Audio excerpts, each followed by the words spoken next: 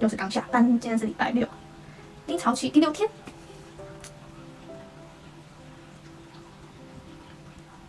就是会想到一些事情就会想要哭，所以今天有加班很难过。想说加班的话可以转移注意力，让自己不要这么的低潮。然后其实五点就下班了哦，现在是早上七点半，我们五点就下班了，五点半下班，然后刚好跟朋友在外面又聊了一下天，所以拖到现在才回到家。但一回到家就觉得空荡荡的，很很低潮，就是情绪会很低落，所以就会想要哭。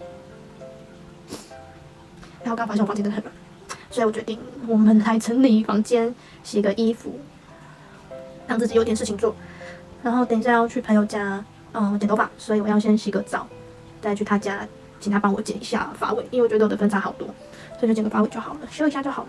然后就是他们这种感觉，不知道什么时候才可以结束的该死的心情。嗯，什么时候可以结束？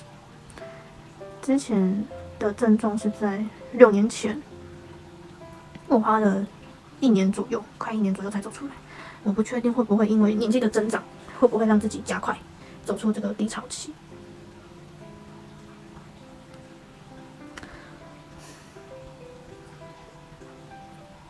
嗯，先这样，打扫打扫。Hello，那我要来开始整理房间了，因为，哎对，就整理房间。然后我床就这么大。就看我怎么整理它吧。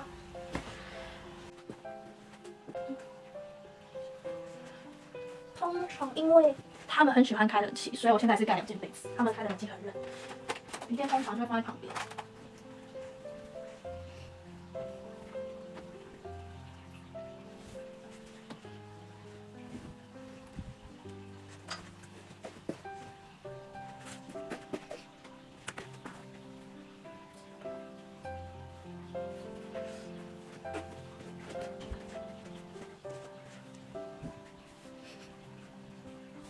这是我在这里买的第一件贝贝，是我最喜欢的恐龙，我真的非常喜欢恐龙，超级喜欢的，所以我很爱这件小贝贝。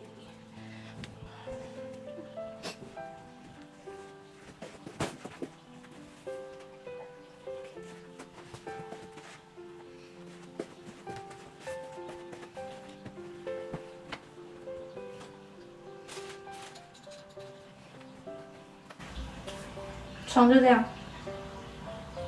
这样就好，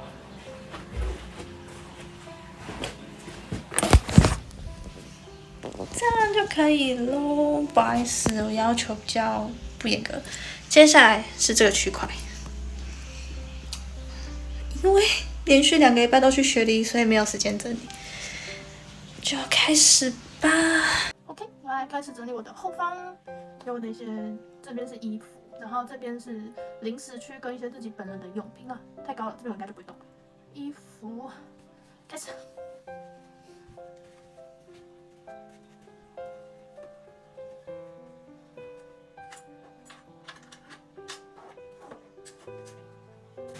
然后我还要顺便整理，这边都是要洗的衣服，所以先看一下。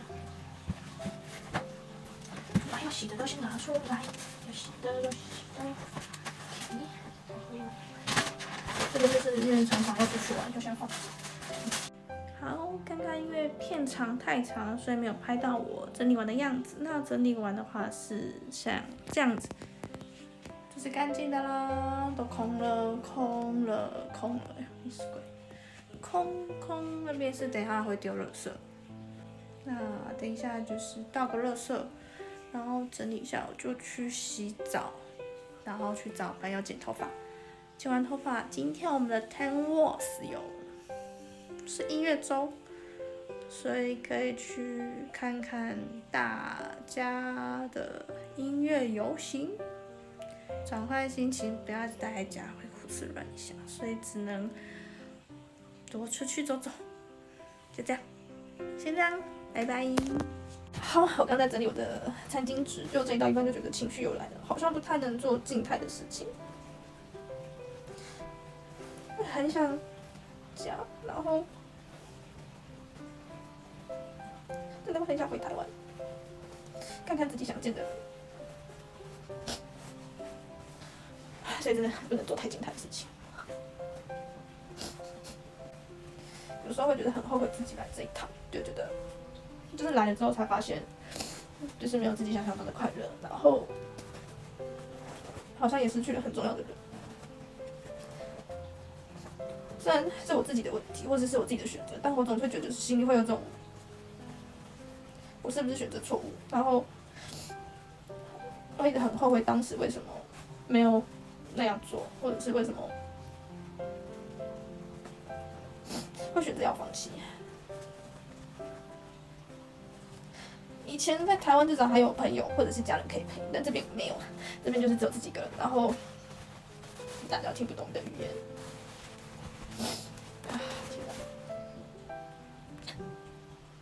好想回家，好想抱抱自己的家人，抱抱自己的狗。然后我也不知道，但是就是这是必经过程，自己要坚强，自己要努力，自己要走下去，要撑过去，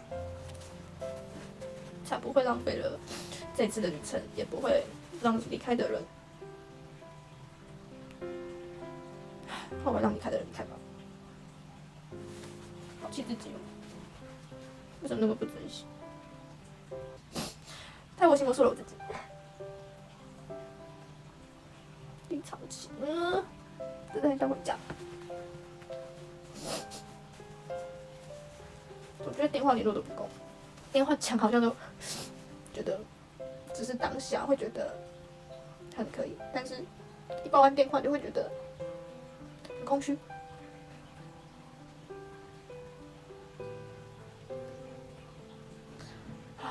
要多久？到底要多久才可以回到开始？开开心心，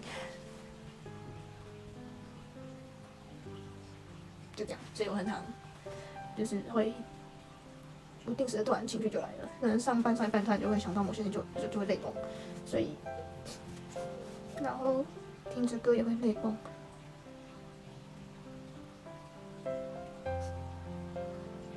很想很想。让脑袋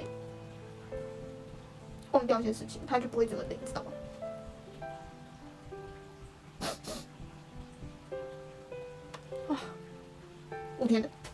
第一天比较严重，第一天是会那种哭到就是抽搐，嗯，就是一直抽抽搐，然后哭到不行的那种。第二天也是，第三天就比较好一点，到像第五天，好像就是一阵一阵的。有别人旁边有别人的话就比较能够克制，可是我最近发现我的脸会非常的臭，而且心情会非常的不好。我不会想要跟别人讲话，聊天好像事情可以，但是我不太会想要主动跟别人说话。然后也一直很想努力加班，最好就是从凌晨一点上到下午一点。我回家只要洗个澡、吃个东西，我就可以睡觉那一种。然后身体也会很累，所以让自己是睡得着的状态。我觉得这样生活好没有意义哦。但是就是好想着赚钱，他的观点就是有很多钱可以拿，这样吗？